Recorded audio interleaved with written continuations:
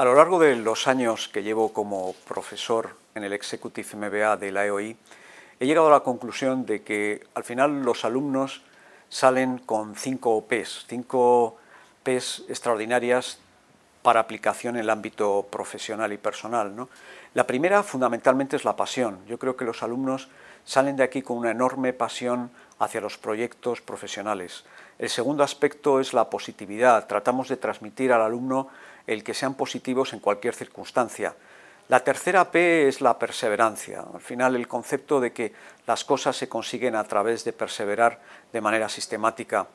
La cuarta P sería la preparación. Entendemos que la preparación, no cabe duda, es la clave del éxito profesional y también personal.